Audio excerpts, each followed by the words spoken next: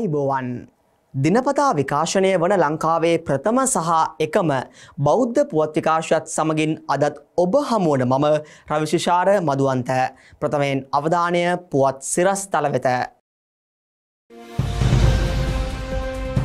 විටියල සීවලී නාහිමියන්ගේ පනස් වන ජන්මදිනය වෙනුවෙන් ගිලන් භික්ෂු විවේකාගාරයක් අපරැක්ක ආයුරුවේද රෝහලට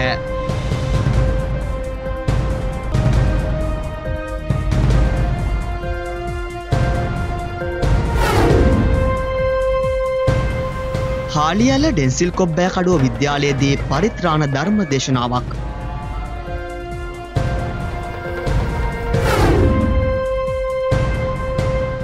දුක හඳුනන අපි සංවිධානයේ තවත් සමාජ සත්කාරයක්.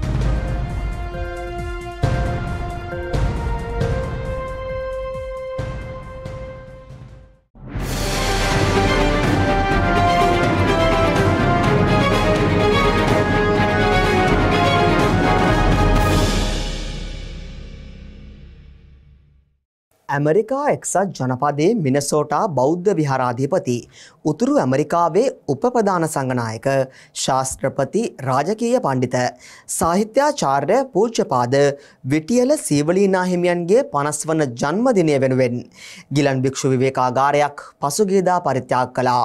එය අපරැක්ක ආයුර්වේද රෝහල වෙතයි. මාතර අපරැක්ක ආයුරේද රෝහලට ගිලන් භික්ෂු විවේකාගාරයක් මින් පෙර නොතිබූ අතර එම අඩුපාඩුව හඳුනා ගනිමින් මෙම පරිත්‍යාගය සිදු කිරීමට පූජ්‍යපාද විටියල සීවලි නාහිමියන් පියවරගෙන තිබෙනවා. එය අනුව මාතර උඩාපරැක්ක ශ්‍රී මාතිකාරාමාධිකාරයේ ධම්මසිද්ධි ශ්‍රී පඤ්ඤාරාම ගිරුවාපත්තුව ඇතුළු මාතර හම්බන්තොට දෙපලාතේ ප්‍රධාන සංගනායක පූජ්‍යපාද උල්ලල චන්දිමනාහිමියන්ගේ අනුශාසනා පරිදි මෙම ගිලන් භික්ෂු විවේකාගාරයේ ඉදිකර තිබෙන්නේ සියගුරුතේවොත්තම පූජ්‍යපාද නාරාදෙණියේ පඤ්ඤාරාමනාහිමියන් සිහිවීමද අරමුණු කර ගනිමින් ගොඩනැගිල්ලේ අභිනවේ නිදි කරන ලද විතර්ක මුද්‍රාව සහිත බුද්ධ මන්දිරය දකුණු පළාත් ආයුර්වේද කොමසාරිස් වෛද්‍ය සීඑල් ගුරුගේ මහතා විසින් නිරාවරණය කළා. අනතුරුව භික්ෂු විවේකාගාරය විවෘත කිරීම සිදු කළේ රුහුණුමායා පත්තුව ඇතුළු මාතර හම්බන්තොට දෙපලාතේ ප්‍රධාන අධිකරණ සංගනායක විශ්‍රාමලත් විදුහල්පති පූජ්‍යපාද කුඹුක්වැවේ හෙමසිරිනා හිමියන් විසින්.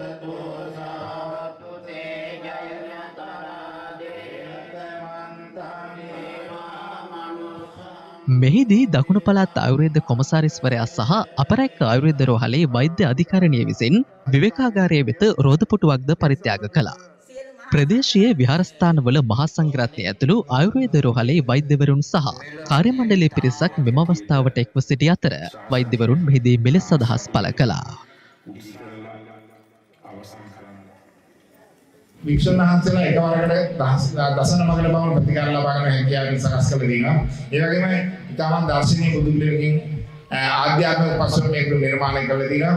ඒ වගේම ඇඳන් 10ක ප්‍රමාණවත් පිළිවෙලක් තියෙනවා. විශේෂයෙන්ම ප්‍රතිකාර සඳහා විශේෂ කාමරයක් තියෙනවා. ඒ වගේම දන්සාලාවක් සාහිත්‍ය සිළු දේවලින් සමන්විත වූ ප්‍රතිකාර කළ හැකි වාට්ටුවක් කවදාවත් අපිට ලැබෙලා තියෙනවා. බදුල්ල හාලියල ඩෙන්සිල් කොබ්බෑකඩුව විද්‍යාලයේ අභිනවෙන් ඉදි කරන ලද තෙමහල් ඉගෙනුම් සම්පත් මධ්‍යස්ථානය සිස්සු අයිතියට පත් කිරීමට පෙර හෙළ සංස්කෘතියට මුල් තැන දෙමින් එම ගොඩනැගිල්ලේ පරිත්‍රාණ ධර්ම දේශනාවක් හා සංගත දක්ෂිනාවක් පසුගියදා පැවැත්වුණා.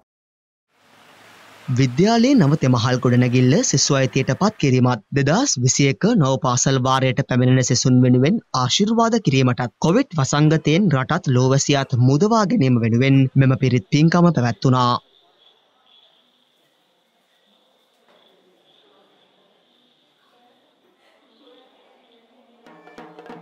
විද්‍යාලයේ නියෝජ්‍ය විදුහල්පති පූජ්‍යපාද බෝගහමඩිත්තේ ධම්මසාර ස්වාමින්ද්‍රයන් වහන්සේගේ අනුශාසකත්වයෙන් විද්‍යාලයේ විදුහල්පති DMP දිසානායක මහතාගේ පූර්ණ මඟ පෙන්වීම යටතේ විද්‍යාලීය ආචාර මණ්ඩලයේ කැපවීම මත දෙමාපියන් හා ආදි ශිෂ්‍යයන්ගේ සහභාගිත්වයෙන් මෙම පින්කම සංවිධානය කර තිබුණා.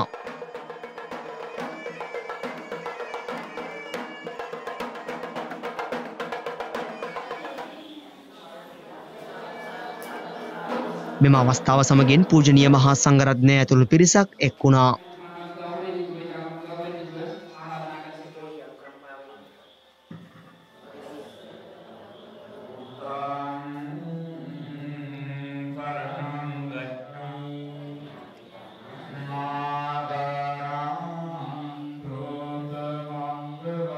දෙදස් විසියක අලුත් වාරයේ පාසල ආරම්භ කරනවා එනිසා සියලුම අධ්‍යාපනය ලබන සියලුම දුවාදරුවන්ට නිදුක් නීරෝගී භාවය චිරජීවනය උදාවේවා කියන ප්‍රාර්ථනාව. ඊළඟ කාරණාව තමයි රටවාසී ඒ වගේම ප්‍රදේශවාසී ලෝකවාසී හැම කෙනෙක්ම මේ වෙන විට බොහෝම චිත්ත පීඩාවට පත් වෙලා ඉන්න කාලවකවානුව. හැම කෙනෙකුගේම ප්‍රාර්ථනාව තමයි 2021 වසරේවත් මේ කොරෝනා කියන රෝගය මේ ලෝකෙම ගුරන් වෙලා ගිහිල්ලා නැවත වතාවක් සුපුරුදු පරිදි ඒ දෛනික කටයුතු කරගන්නට ගුරු භවතුන්ට රටවාසීන්ට ලෝකවාසීන්ට සියලුම ජනතාවට වාසනා ශක්තිය උදා වේවා කියන උතුම් ආශිර්වාදය ලබා දීම කියන කරුණු කාරණා පදනම් කරගෙන තමයි මේ පින්කම සිද්ධ කරන්නට යෙදෙන්නේ.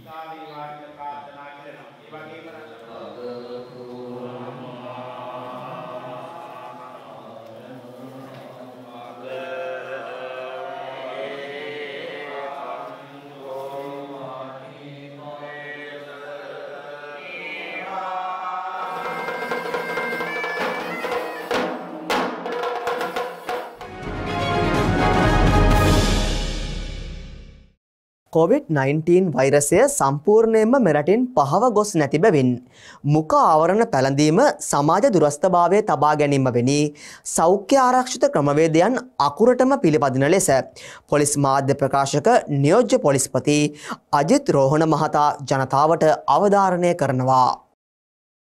මේ වන විට හුදකලා කිරීමේ නියෝගය ක්‍රියාත්මක වෙන්නේ කාතංකුලි පොලිස් බල ප්‍රදේශය ආශ්‍රිතව පමණයි පොලිස් බල ප්‍රදේශයක් ලෙස කෙසේ වුණත් ලංකාව විවිධ ප්‍රදේශවල ග්‍රාම්සයකවා සම් මේ වගේම වීදි මහල් නිවාස හුදකලා කර තිබෙනවා. සමස්ත පොලිස් වසමක් ලෙස කාතංකුඩි පොලිස් බල ප්‍රදේශය පමණයි නිරෝධායන හුදකලා කිරීම නියෝග ක්‍රියාත්මක වෙන්නේ. එමෙන්ම හුදකලා කිරීම නියෝගයේ ඉවත් කරන ලද ප්‍රදේශවල ජනතාවගෙන් අපි ඉල්ලා සිටිනවා. නැවත එක් රැස්වීමෙන් ඒ වගේම සමූහයක් හැටියට එකට සිටීමෙන් වලකින්න එසේ නොමැතිව ඔබ නිරෝධායන රීතීන් වලට පටහැනිව කටයුතු කළහොත් නැවත හුදකලා කිරීමේ නියෝග ක්‍රියාත්මක කිරීමට සිදුවෙයි. ඒ වගේම හුදකලා කර තිබෙන ප්‍රදේශවල ජනතාවගෙන් ග්‍රාම සේවක වසම්මල ඒ වගේ මහල් නිවාසවල වතු ආශ්‍රිත ජනතාවගෙන් ඉල්ලා සිටිනවා නිරන්තරයෙන් හුදකලා නියෝගයට ගරු කරන්න නිරෝධායන රීතිවලට අනුගතව කටයුතු කරන්න එසේ වුවහොත් පමණයි ඔබේ ප්‍රදේශ හුදකලා බවින් මුදා හැරීමට හැකියාවක් ලැබෙන්නේ. දෙදස් විශ්‍ය ඔක්තෝබර් මාස පහළොස්වනි දින ඇති අතිවිශේෂ ගැසට් පත්‍රය ප්‍රකාරව රාජ්‍ය සහ පුද්ගලික ආයතන කටයුතු පවත්වාගෙන යන්නේද පිළිබඳව පරීක්ෂා කිරීම සිදු කළා. විශේෂයෙන්ම එම ගැසට් නිවේදනය අනුව යම් ආයතනයකට ඇතුළුවන ස්ථානය අත්සෝදා ගැනීමට ස්ථානයක් පිළිල කර තිබිය යුතුයි. ඒ වගේම නිරන්තරයෙන්ම ඇතුළු වන අයගේ ශරීර උෂ්ණත්වය පරීක්ෂා කළ යුතුයි. මුඛාවරණ පළඳින අය පමණක් ඇතුල් කරගත යුතුයි. ඒ වගේම පරීක්ෂය තුළ දුරස්ථභාවයේ තිබෙන පරිදි අවශ්‍ය කටයුතු සලස්වා තිබිය යුතුයි. ඊට අමතරව වැඩිපුර පිරිසක් සිටිනවා නම් ඔවුන් පාලනය කර ඇතුළත් කළ යුතුයි. ඒ වගේම ලේඛන පවත්වාගෙන යාමක් සිදු කළ යුතුයි. මේ ආදී කරුණු සිදු කළ යුතුයි. ඒ වගේම ඊයේ දිනේදී බස්නාහිර පළාතෙන් පිටත තවදුරටත් මෙහෙයුම් ක්‍රියාත්මක වුණා. පුද්ගලයන් 35 දෙනෙක් පමණ අත්අඩංගුවට ගෙන තිබෙනවා. මුහුණු ආවරණ නොපැළඳීම සහ දුරස්ථභාවය තබා නොගැනීම සම්බන්ධව. එමෙන්ම මේ වන විට 2549 දෙනෙක් මුහුණු ආවරණ නොපැළඳීම සහ දුරස්ථභාවය තබා නොගැනීම සම්බන්ධයෙන් බස්නාහිර පළාතෙන් පිටත අත්අඩංගුවට ගැනීම සිදු කර තිබෙනවා. මෙයින් 2400කට පමණ මේ වන විටත් නඩු පවරා තිබෙනවා. ඔබ කුමන ප්‍රදේශයක සිටියත් මුහුණු ආවරණ පැළඳීම අනිවාර්යෙන්ම කළ යුතුයි. මුහුණු ආවරණයක් නොපැළඳා කිසිම අවස්ථාවක ඔබේ නිවසෙන් පිටතට යාමෙන් වැළකිය යුතුයි. අනිවාර්යෙන්ම මේ කරුණු ගැන අවධානය යොමු කරමින් කටයුතු කරන ලෙසට ඉල්ලා සිටිනවා. ශ්‍රී ලංකාව පුරා පුද්ගලයින් එක්ලක්ෂ දාසය දාහක් පමණ ස්වයං නිරෝධායනය නිරත වෙනවා මේ ස්වයං නිරෝධායනයේ නිරත වෙන පුද්ගලයින් අතරින් වැඩිම පිරිසක් ස්වයං නිරෝධායනයේ නැත්නම් ගෘහස්ත නිරෝධායනයේ නිරත වෙන්නේ ගම්පහ දිස්ත්‍රික්කය ආශ්‍රිතව එය 36000ක් පමණ වෙනවා.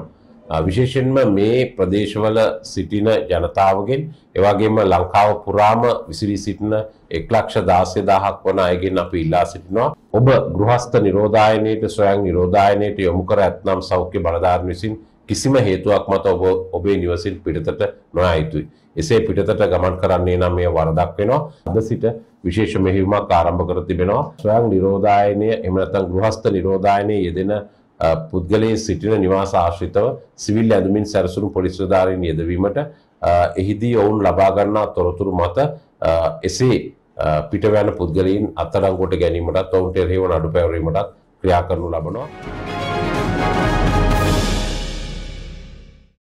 කොරෝනා වෛරසය පැතිරයාමත් සමඟ රටේ ඇතිවී තිබෙන ලේ අවශ්‍යතාවය සපුරාලීමට බාධා පැමිණ තිබෙනවා.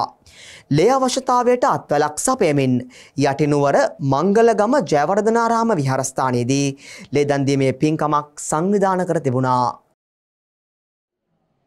දෙනුවර අධිකරණ ප්‍රධාන සංගනායක පූජ්‍යපාද කඹුරාදෙනියේ සෝමාලංකාර ස්වාමින්ද්‍රයන් වහන්සේගේ අනුශාසනා පරිදි ලේදන්දීමේ පින්කම සංවිධාන කර තිබුණා. දුක හඳුනන අපි සංවිධානය මෙහි සංවිධාන කටයුතුවල මූලිකත්වය ගෙන තිබූ අතර දෙදස් විස්ස වසරට සාපේක්ෂව එම සංවිධානය විසින් සිදු කළ පනස් එක් වන ලේදන්දීමේ පින්කම ලෙස මෙය ක්‍රියාවට නැංගුණා. ලේදන්දීම සඳහා ප්‍රදේශවාසින් ඇතුළු විශාල පිරිසක් එක්ව සිටි අතර ලේදන්දීමට සහභාගී වූ සියලු දෙනාටම පළතුරු පැලයක් බැගින් ලබා දීමද විශේෂත්වයක් වුණා. අද දවසේදී දුක හඳුනන අපේ සංවිධානය සමග එක්ව 51 වන වරටත් අපේ සංවිධානය කරන ලද මේ ලේ දන් දීමේ මහා පුණ්‍ය කර්මයට අපිත් එක්ක එකතු වෙන රුධිර දායකත්වයෙන් අපිත් එක්ක එකතු වෙන ජනතාව වගේම මේ දුක හඳුනන සංවිධානය හා එක් 51 වසරක් පුරා බෞද්ධ නාලිකාව අපිත් එක්කම රැඳී සිටමින් මාධ්‍ය ප්‍රචාරණය ලබා දෙමින් අපිට ඉමහත් සහයෝගයක් ලබා දුන්නා. ඉතින් ඉදිරියටත් බෞද්ධ නාලිකාව අපිත් සමග එකතු වෙලා රුධිර දායකත්වය උතුම් පුණ්‍ය කර්මය වෙනුවෙන් අපිට මාධ්‍ය ප්‍රචාරණය ලබා දෙමින් මහඟු සහයෝගයක් ලබා දෙන බවට අපිට විශ්වාසයි ඒ වෙනුවෙන් එම නාලිකාවටත් අපි දෙවින්ම ස්තුතිවන්ත වෙනවා. ඒ වගේම දුක හඳුනන අපි සංවිධානයේ නිර්මාතෘ නිරන්තර රණසිංහ මැතිතුමන් ඇතුළු ඒ කාර්ය මණ්ඩලයට අද දවසේදී රුධිර දායකත්ව බැංකුව සමග එකතු වෙලා අපිත් එක්ක මේ කටයුතුට සහයෝගය ලබා දෙන වෛද්‍ය නිලධාරී මණ්ඩලය සහ අපිත් එකතුලා ඉන්න ජනතාවටත් අපි බෙහෙවින්ම ස්තුතිවන්ත වෙනවා මෙවන් උතුම් පුණ්‍ය කර්මයක් 51 වන වරටත් සංවිධානය කරමින් සාර්ථකව සංවිධානය කරමින් රටට දයට සේවයක් ඉටු කිරීමට තවත් උතුම් දවසක් අපිට ලබා දීම පිළිබඳව මේ රටේ මිනිස්සු මේ වෙලාවේ කොරෝනා වෛරසය නිසා රටේ ලේ ලේ බිනක්වත් එහෙම නැත්නම් මිනිස්සු මිනිස්සුන්ට උදව් කරන්නවත් ඉදිරිපත් වෙන්නේ නැහැ. මේ වසර තුල අපිට කියන්න සතුටුයි. අපි රෝදපුඩු 1000කට වැඩි පරිත්‍යාග කරා. ඒ වගේම නිවාස 17ක් හදලා දුන්නා. ඒ වගේම අපි දුකාවන ලක්ෂයකට වැඩි බෙදලා දුන්නා. ඒ ඒ වගේම අහිංසක මිනිස්සුන්ට වීර්ය ආහාර ලබා දුන්නා. අපි මේක කරන්නේ අපේ දානපතියන්ගේ හා එකතු වෙලා අපි සංවිධානයක් හදාගෙන ඒ සංවිධානය හරහා මේ මේක කරගෙන යනවා. විශේෂයෙන් ස්තුතිවන්ත ඕන බෞද්ධ නාලිකාවටත් අපිට මේ සියලුම වැඩසටහන් වලදී මාධ්‍යාවරණයක් අපිට ලබා දුන්නා. ඒකේ මේ මාධ්‍යාවරණේ හින්දා තමයි මිනිස්සු දැනගත්තේ අපි මෙච්චර හොඳ වැඩක් කරනවා කියලා. බෞද්ධ නාලිකාව අපිට ගුවන් කාලයක් විශේෂයෙන් වෙන් කරලා තිබුණා. ඒ වෙන් කරලා දුන්න කාලය ඉතාම වටිනවා. ඒකෙදී අපි බලාපොරොත්තු වෙන්නේ කිසිම කෙනෙක් දේශපාලන වාසියක් ගන්නවත් එහෙම නැත්නම් වෙනත් මොනවා මොනවා මොනවා ආවට අපේ කිසිම දෙයක් නැහැ. අපි බලාපොරොත්තු වෙන රටේ ජනතාව වෙනුවෙන් යමක් කරන්න ඕනේ කියන දැනගෙන තමයි අපි වැඩ කරන්නේ. විශේෂයෙන්ම මේ බෞද්ධ කියන පරිසරයක සිටින බෞද්ධ ජනතාව අපි මේ වෙලාවේ සෑහෙන උදව් කරා. ඒ කරපු මේ මේ මහා පින මම හිතනවා ඒ හදපු වැඩපු දෙමව්පියන්ට පවා මේ ලොකු පිනක් බවට පත් වෙනවා. ඒ නිසා මම තව තවත් මේ රටේ ජනතාවගෙන් ඉල්ලීමක් කරනවා.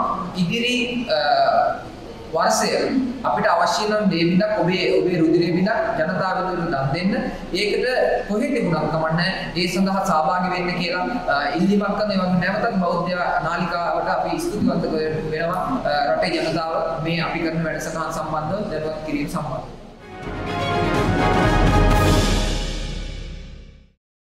රුවන්වැලි මහා සෑරදුන් සහ ජයශ්‍රී මහා බෝධීන් වහන්සේ වන්දනා කිරීම සඳහා පැමිණෙන ආබාධිත වන්දනාකරුවන් වෙනුවෙන් රෝධපුටු පරිත්‍යාග කිරීමේ වැඩසටහනක් බෞද්ධ මාධ්‍යජාලය ආරම්භ කර තිබෙනවා. ඒ සඳහා අවශ්‍ය වන රෝධපුටු අදත් බෞද්ධ සැදැහැවතුන් විසින් බෞද්ධ මාධ්‍යජාලය වෙත පරිත්‍යාග කළා.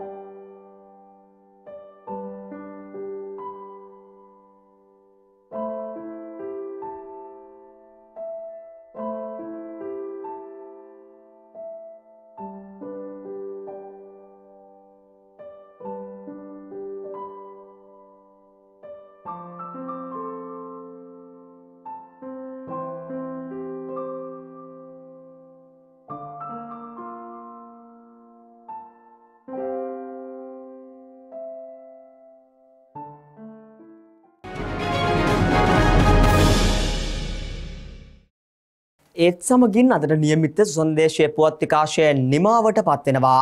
YouTube සහ සුසන්දේශය Facebook පිටු ඔස්සේ දිනපතා විකාශනය වන ලංකාවේ ප්‍රථම සහ එකම බෞද්ධ පුවත් විකාශයත් සමගින් ඔබට එක් විය හැකි. ඔබ සැමට සුභරාත්‍රයක්. සම්මා සම්බුදු සරණයි.